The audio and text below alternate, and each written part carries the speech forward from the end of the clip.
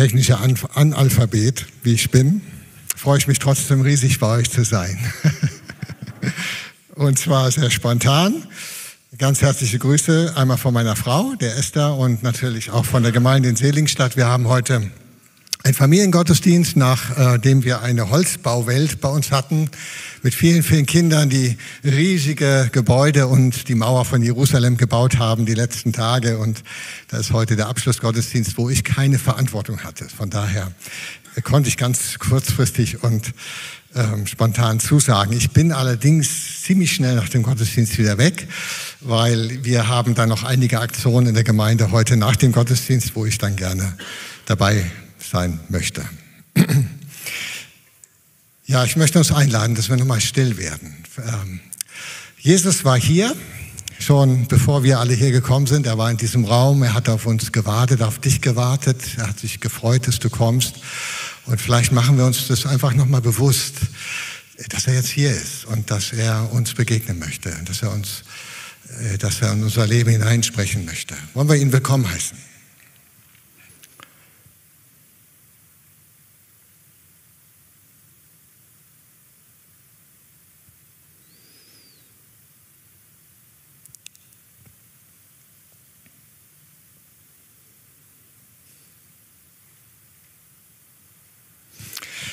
Danke, Herr Jesus, dass du jeden von uns kennst, dass du weißt, mit was wir hierher gekommen sind, mit welchen Fragen, Herausforderungen, was uns gerade bewegt, was uns Mühe macht, wo wir uns Sorgen machen. Das siehst du alles.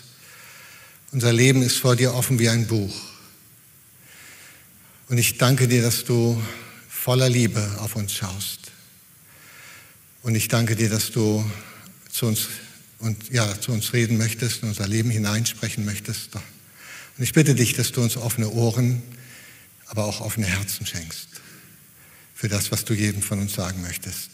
Danke für deine Gegenwart. Danke, dass du hier bist. Und danke, dass auch wir hier sein dürfen und dass du uns begegnen möchtest. Amen. Ich hatte in diesem Sommer eine Sabbatzeit. Ähm, ich weiß nicht, wer das vielleicht schon mitbekommen hat. Dreieinhalb Monate habe ich eine Auszeit mir genommen und ich bin sehr dankbar, dass unsere Kirche das so empfiehlt. Pastoren, die nach sieben Jahren in einer Gemeinde Dienst, in einer Gemeinde äh, soll ermöglicht werden, eine Auszeit von drei Monaten zu nehmen. Meine letzte Auszeit war 2014, acht Jahre her. Äh, letztes Jahr ging es nicht wegen Corona. Äh, aber ich habe mich umso mehr gefreut, dass mein Gemeindevorstand in Seligenstadt und auch der BKR, ähm, der Bezirkskirchenrat für meine Tätigkeit für den Bezirk, dass sie zugesagt haben, dass ich in diesem Sommer dreieinhalb Monate Sabbatzeit mir nehmen darf. Und das war, ich habe gemerkt, das war nötig. Die letzten Jahre mit Corona und manchen anderen Herausforderungen waren doch sehr anstrengend für mich, auch mit immer zwei Hüten auf dem Kopf, Gemeinde und Bezirk. Und so war ich sehr, sehr dankbar, dass, ähm, dass ich diese Zeit der Regeneration und der Erholung und der Neuausrichtung haben durfte. Es war für mich eine unglaublich wertvolle Zeit und ich bin sehr, sehr dankbar dafür. Und dann war mir, als ich so in diese Zeit äh, gestartet bin, war mir ganz wichtig, nach 32 Jahren Pastorendasein habe ich gesagt, jetzt musst du unbedingt mal diesen Pastorenhut ablegen. Jetzt will ich mal in dieser Sabbatzeit einfach nur Kind Gottes sein. Und ich habe gemerkt, das ist gar nicht so einfach. Dann schlägt man die Bibel auf und liest die Bibel und äh, denkt gleich schon wieder darüber nach, wie kannst du darüber predigen? äh, und dann betet man und dann betet man sofort und sagt, Herr, die Kirche braucht Erneuerung. Und dann nein, habe ich gesagt, nein, nein ich bin jetzt nur Kind Gottes. Ich will nicht über die Kirche nachdenken, ich will auch nicht dafür beten. Ich will meine Beziehung zu Gott, dass sie erneuert wird. Und ähm, da hat Gott mir das aufs Herz gelegt, einfach in seiner Gegenwart zu leben. Er hat mich herausgefordert, zu lernen, von Augenblick zu Augenblick mir bewusst zu werden, dass ich in seiner Gegenwart bin, dass er da ist. Und in irgendwie, in irgendeiner Weise in Beziehung mit ihm zu sein. Und in diesem Zusammenhang wurde mir dieser Psalm 63 ganz wichtig, den wir in Auszügen gehört haben und den ich einfach nochmal uns lesen möchte. David ist in der Wüste Also da war das richtig dürr, richtig trocken, kein Wasser. Und aus dieser Wüste oder in dieser Wüste schreibt er diesen Psalm und er sagt, Gott, du bist mein Gott, den ich suche. Meine Seele dürstet nach dir. Mein Leib verlangt nach dir aus trockenem, dürren Land, wo kein Wasser ist. So schaue ich aus nach dir in deinem Heiligtum, wollte gerne sehen deine Macht und Herrlichkeit. Denn deine Güte ist besser als Leben. Meine Lippen preisen dich. So will ich dich loben mein Leben lang und meine Hände in deinem Namen aufheben. Das ist meines Herzens Freude und Wonne, wenn ich dich mit fröhlichem Munde loben kann. Die gute Nachricht übersetzt das ein bisschen anders. Sie sagt, du machst mich satt und glücklich wie bei einem Festmahl. Habe ich gedacht, okay, das ist schon ziemlich anders. Aber was dahinter steckt, ist eine tiefe innere Zufriedenheit, die entsteht, nachdem man einen, ja, nach langem Hungerphase vielleicht jetzt wirklich ein Festmahl hatte diese tiefe innere Zufriedenheit, dieses Glück in der Gegenwart Gottes. Und dann, wenn ich mich zu Bette lege, so denke ich an dich und wenn ich wach liege, sinne ich über dich nach. Denn du bist mein Helfer und unter dem Schatten deiner Flügel frohlocke ich. Meine Seele hängt an dir. Ist fast mein Lieblingssatz in diesem Psalm. Meine Seele klebt an dir. Ich hänge mich an dir fest. Ich will immer an dir dran sein. Meine Seele hängt an dir, deine rechte Hand hält mich. König David suchte Gott. Man könnte sagen, wie das vielleicht so in der modernen Sprache eher gesagt wird, er suchtete nach Gott. Er suchtete mit seinem ganzen Sein nach Gott. Das war seine Sucht. Es gibt ja viele Süchte in unserem Leben, ähm, die uns oft gar nicht so bewusst sind. Die meisten davon sind destruktiv. Aber diese Sucht, dieses, diese Sehnsucht nach Gott, dieses Verlangen nach Gott, was David hatte, das war sein Glück. So wie wir das vor einiger Zeit mal in der Jahreslosung bedacht haben. Gott nahe zu sein, ist mein Glück. Und diese Sehnsucht von König David führte dazu, dass er ständig die Nähe Gottes suchte. Und in dieser Nähe Gottes hat er dann erlebt, wie seine Seele so richtig satt wurde. Und dann spürte ich, wie Gott mich dazu herausforderte, in dieser Sabbatzeit das einzuüben, wirklich alle Zeit, jeden Moment meines Lebens in seiner Gegenwart zu sein und mit ihm in Verbindung zu sein, mit ihm im Gespräch zu sein oder auch einfach nur in Anbetung zu sein. Und da musste ich so an manches Bibelwort denken, das mich irgendwie schon immer herausforderte. Zum Beispiel, wenn Paulus schreibt ähm, an die Philippa, freut euch in dem Herrn alle Zeit. Alle Zeit. Nicht nur ein oder zweimal am Tag, sondern alle Zeit. Jeden Moment deines Lebens freue dich an Gott. Und ich habe mich immer gefragt, wie geht denn das? Oder wenn er später dann an die Epheser schreibt, betet alle Zeit. Also nicht nur zweimal im Tag, morgens und abends, wenn wir aufwachen und ins Bett gehen, sondern bete den ganzen Tag, alle Zeit. Und dann habe ich mich gefragt, ja, was heißt das denn? Soll das, soll ich denn 24, naja, sieben Stunden Schlaf, 17 Stunden am Tag mich auf die Knie begeben und irgendwie dann beten? Geht gar nicht. Ich muss ja arbeiten, ich muss ja Haushalt machen oder was auch immer. Nein, das Gebet soll eigentlich, während wir unsere Arbeit tun, alle Zeit, egal was wir tun, können wir mit Gott in Beziehung sein. Oder Jesus benutzt dieses Bild von dem Weinstock und den Reben, wo er sagt, ich bin der Weinstock und ihr seid die Reben. Bleibt mit mir fest verbunden. Die Rebe macht das nicht so, dass die morgens sich mal kurz in den Weinstock eindockt und dann den ganzen Tag sagt, so, jetzt bin ich mal für mich, jetzt mache ich mal meinen Kram und dann abends dockt er sich wieder ein, dockt sie sich wieder ein. Macht sie nicht, sie bleibt beständig mit dem Weinstock verbunden, die ganze Zeit. Und da ist ständig da könnte man jetzt den Landwirt fragen, da ist beständig Austausch. Da sind Stoffe, die ausgetauscht werden und, und ähm, da, ist, da ist beständig was im Gange.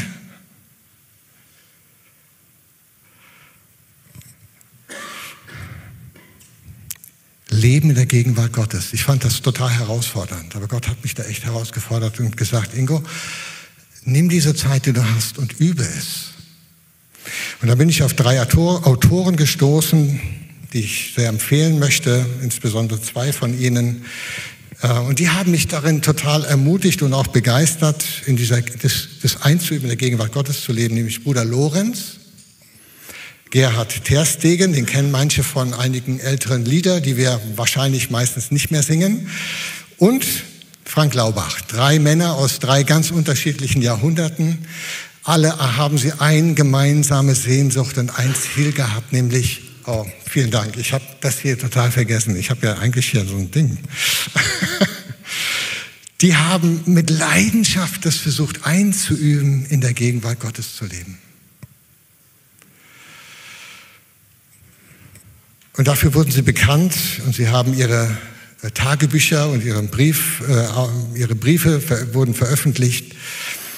Ähm, und so habe ich mir mit Gottes Hilfe vorgenommen, jeden Augenblick meines Lebens und das habe ich mir auch nicht nur für die Sabbatzeit vorgenommen, sondern auch für mein weiteres Leben. Ich will so oft und so viel wie möglich mit Gott in Kontakt sein. Auch und gerade im Alltag. Wenn ich arbeite, dann möchte ich ganz bewusst mit und für den Herrn arbeiten, egal was ich tue, selbst wenn ich die Garage aufräume. Ich will es mit Gott tun. Ich will es im Gespräch mit Gott tun im Zwiegespräch mit ihm. Wenn ich Menschen begegne, sei es beim Spazierengehen oder beim Einkaufen oder in der Gemeinde, ich möchte sie segnen. Ich möchte mit Gott über sie im Gespräch sein. Ich will beständig in meinem Herzen Gott anbeten. Das, was ich einmal machen werde, wenn ich bei ihm bin, dann werde ich beständig Gott anbeten. Das will ich jetzt schon einüben in meinem Alltag. Alles, was ich tue, soll eine Anbetung Gottes sein.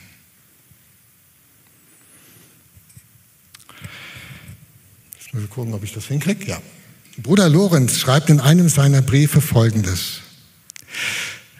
Ich sehe es ja auch hier. Ich kann mir nicht vorstellen, wie ein Christ ein erfülltes Leben führen kann, ohne sich darin zu üben, in der Gegenwart Christi zu sein.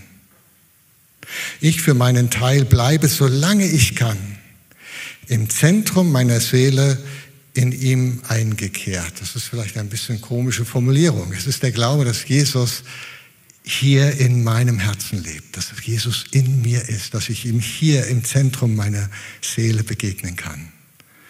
Dass hier ein Raum ist in meinem Herzen, wo ich Jesus begegnen kann. Wir müssen unsere Gedanken immer wieder zu Gott zurücklenken. Wann immer wir feststellen, dass unser Gemüt von ihm abirrt, müssen wir es gelassen in seiner Gegenwart zurückrufen. Und Frank Laubach beschreibt seine Einübung der Gegenwart Gottes folgendermaßen in seinem Tagebuch. Diese Sache, ständig mit Gott in Berührung zu bleiben, ihn zum Gegenstand meiner Gedanken und zum Begleiter meiner Gespräche zu machen, ist das Erstaunlichste, was mir je begegnet ist. Es geschieht tatsächlich. Und dann sagt er, es gelingt mir nicht einmal einen halben Tag lang. Noch nicht. Aber ich glaube, ich werde es eines Tages einen ganzen Tag lang tun. Es geht darum, sich eine neue Gewohnheit des Denkens anzueignen. Und weiter schreibt er, nun liebe ich die Gegenwart des Herrn so sehr, dass wenn er mir auch nur eine halbe Stunde aus dem Sinn geht, wie es jeden Tag viele Male geschieht, das Gefühl habe, als hätte ich ihn verlassen und als hätte ich etwas sehr Kostbares in meinem Leben verloren.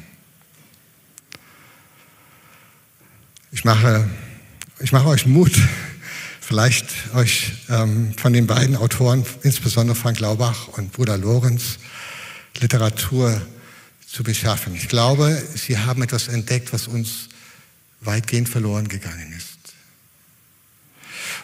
Und ich bin überzeugt, und es war mir, glaube ich, noch nie so klar, dass das wirklich die Berufung eines jeden Einzelnen ist, der Jesus nachfolgen will.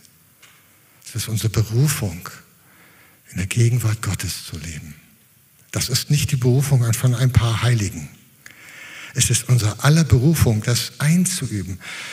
Ich habe mich äh, gefragt, Ingo, wie ist das? Wie weit bist denn du gekommen in deiner Sabbatzeit? Ich weiß es nicht, Gott weiß es. Ich, vielleicht habe ich am Anfang der Zeit zehn Prozent meiner Zeit in, bewusst in der Gegenwart Gottes verbracht und jetzt sind es vielleicht 15 Prozent. Schwer zu sagen, es waren mal vielleicht in der Sabbatzeit selber 20 bis 25 Prozent. Gott weiß es.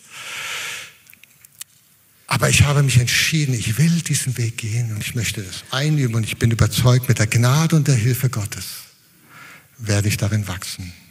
Und ich glaube auch, dass Jesus unser Vorbild darin ist. Jesus hat es uns vorgelebt. Er hat beständig mit Gott in der Verbindung gelebt. Er sagt, ich tue nichts, ich sage nichts. Man könnte fast sagen, ich denke nichts, was nicht Gott mir gibt, was ich nicht Gott tun und, und sagen sehe. Er war so abhängig von Gott, jeden Moment seines Lebens, dass Gott beständig durch ihn wirken konnte. Jetzt sagen wir, naja, Jesus war ja Gott. Ja, er hat sich entleert. Er hat sich hat seine Gottheit abgelegt in dieser Zeit. Er hat das getan durch die Kraft des Heiligen Geistes, durch denselben Heiligen Geist, der auch uns gegeben ist. Und er fordert uns auf, ihm nachzufolgen. Vielleicht werde ich das nie erreichen, was Jesus erreicht hat. Wahrscheinlich werde ich es nicht erreichen. Und dennoch möchte ich in jedem Moment meines Lebens einüben, so in der Abhängigkeit von Gott zu leben. Ich bin, bin, mir, ich bin ganz fest davon überzeugt, wenn wir dieses beständige Leben in der Gegenwart Gottes, wenn wir das einüben, dann verändert das alles. Es verändert alles. Unser ganzes Leben wird sich verändern. Wir werden plötzlich gelassen weil wir uns der Gegenwart Gottes bewusst sind. Der ist ja immer da, aber wir werden uns dessen bewusst. Gott ist da. Wir werden plötzlich von einem tiefen Frieden erfüllt. Wir werden ruhig. Alles andere verliert an Bedeutung. Wir werden die Süchte in unserem Leben verlieren ihre Macht, weil die Sehnsucht, das Schreien und, und, dies, und das Sehnen unserer Seele bei Gott Nahrung findet. Wir lassen die Götzen in unserem Leben plötzlich los, weil wir merken, sie halten nicht, was sie versprechen. All die Dinge, denen wir nachjagen und wo wir so viel Zeit und Geld investieren und am Ende doch genauso leer sind wie vorher. Wir werden frei.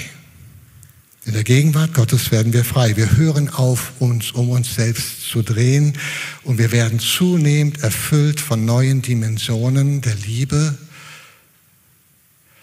die uns bewusst wird von Gott, aber auch der Liebe zu Gott und der Liebe zu unserem Nächsten, zu unseren Mitmenschen.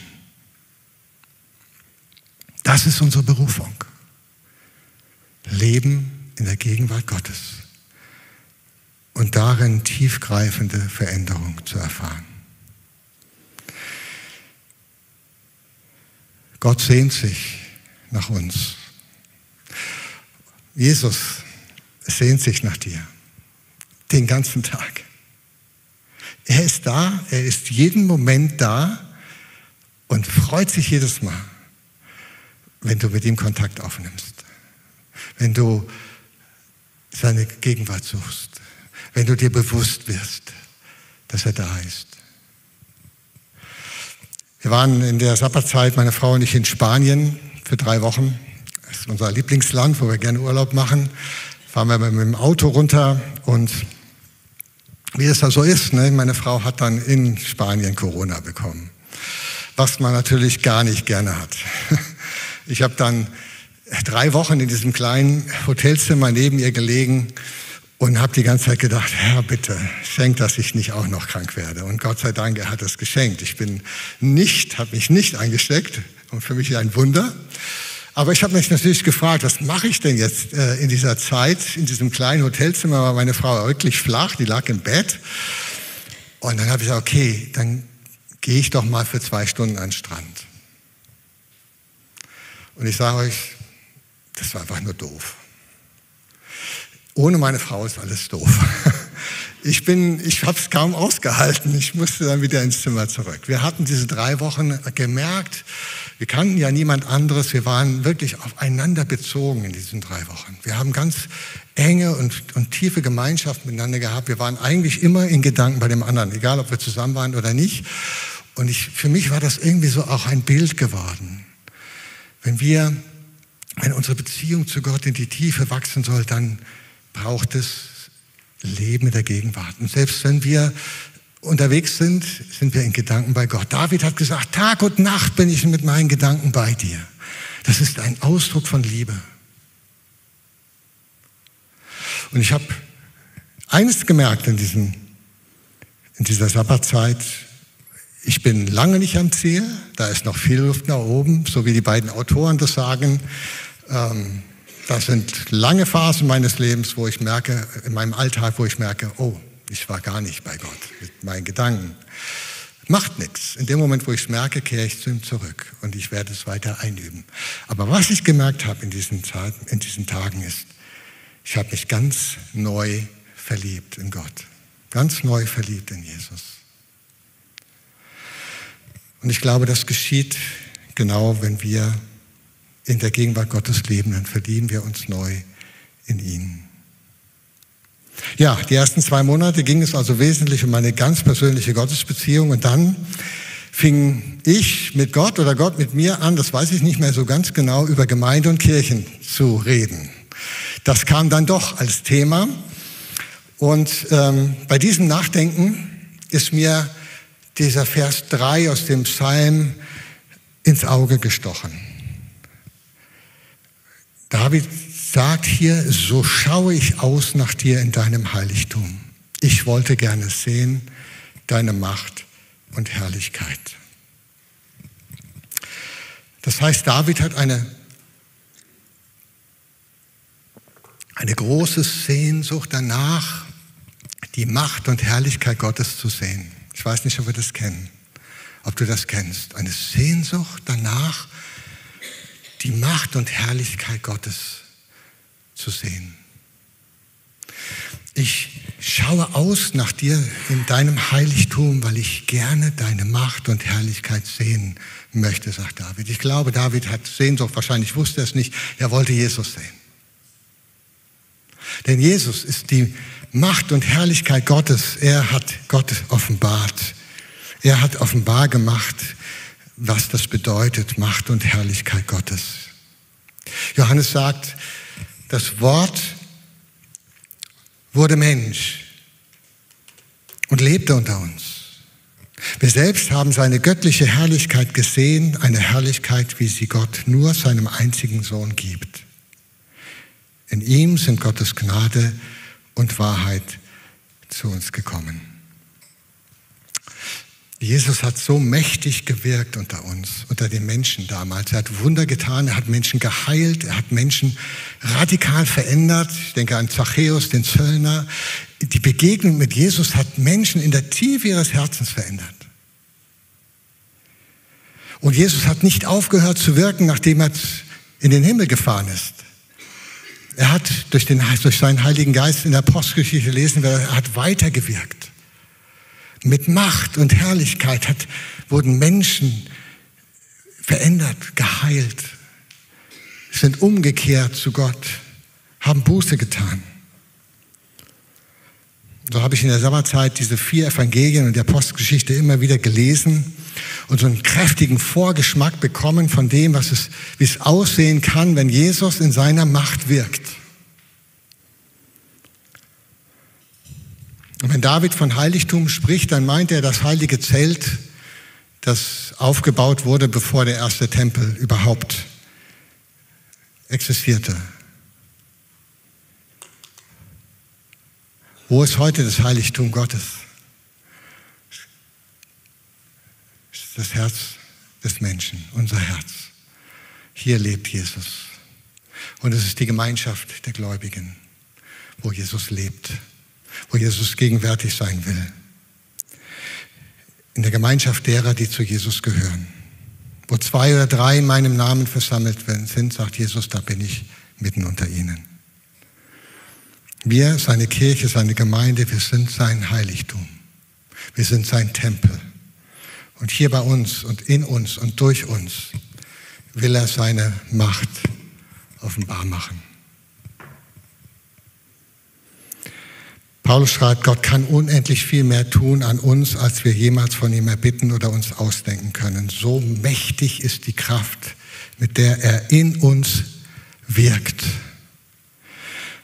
Und wir sind ja in einer ganz individualisierten Zeit, wo wir einfach sagen, ja, in uns heißt hier in mir. Heißt es auch, aber es heißt eben auch in unserer Gemeinschaft. Die Macht Gottes in unserer Gemeinschaft kann so viel größer sein als das, was wir erleben. Und so stellt uns dieser Psalm vor eine zweite Frage, nämlich, wenn wir zusammenkommen in unseren Gottesdiensten und in Kleingruppen, haben wir Sehnsucht, Gottes Wirken zu erfahren.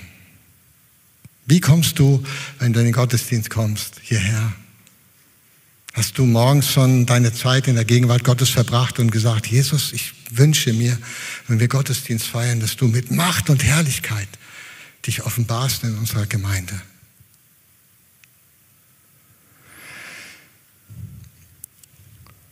Ich glaube, ich predige zu lange, kann das sein? Ein letztes Bild, was ich euch mitgeben will, das von dem Wasser.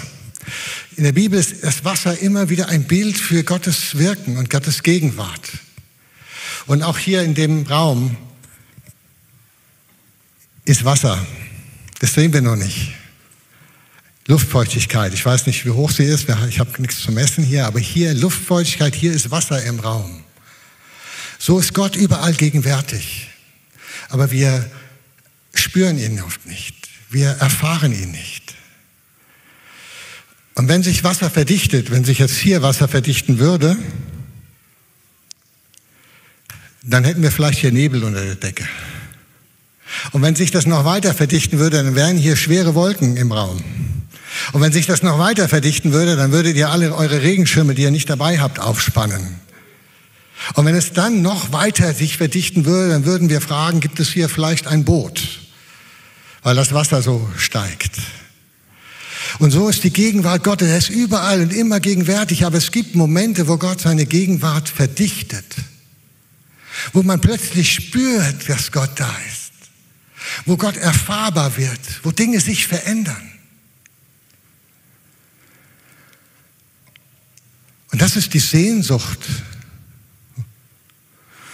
Das ist die Sehnsucht, die David hat, das Wirken Gottes mit Macht zu erfahren. Und wenn Gott gegenwärtig ist, wenn er seine Gegenwart verdichtet in der Gemeinde, da wo Menschen, die ihn lieben, zusammenkommen, dann geschieht genau das, was hier steht, dann geschieht, dass Menschen überführt werden von Sünde. Und das, ehrlich gesagt, haben wir kaum in unseren Gemeinden. Oder? Also, mein, mein Eindruck. Als, als Jesaja in der Gegenwart Gottes war, der Prophet Jesaja, was hat er gesagt? Wehe mir, wehe mir, ich bin ein Sünder. Ich kann vor diesem heiligen Gott nicht bestehen. Und aus der Sündenerkenntnis erfolgt erfolgen Bekehrungen, dass Menschen umkehren, dass sie sagen, Mensch, ich brauche Gott, ohne Gott bin ich verloren. Dass Menschen erkennen, dass sie ohne Gott nicht leben und nicht sterben können. Und dann geschieht Heiligung, tiefgreifende Veränderung des menschlichen Herzens. Wenn Gott gegenwärtig ist, dann werden Menschen verändert, so wie Zachäus eben verändert wurde in der Tiefe seines Herzens. Und dann habe ich manchmal den Eindruck, dass Menschen 20, 30 Jahre lang in den Gottesdienst kommen und sie verändern sich nicht. Wie kann das sein? Und dann, wenn Gott gegenwärtig ist, geschehen Heilungen.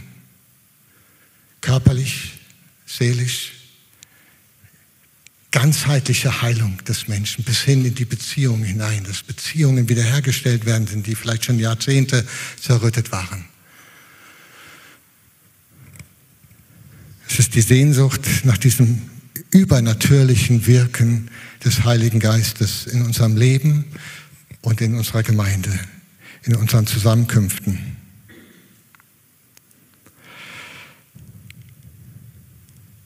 Darf ich ehrlich sein, ich bin überzeugt, dass wir gemessen an der Schrift, gemessen an, den, an der Apostelgeschichte, viel zu wenig von dem Wirken Gottes in unseren Gemeinden erleben.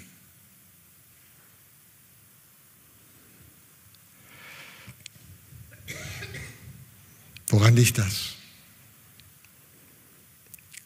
Kann es sein, dass uns diese spürbare und wirksame Gegenwart Gottes die seine Macht entfaltet durch den Heiligen Geist, irgendwie abhanden gekommen ist? Wenn das stimmt, und ich befürchte, dass es stimmt,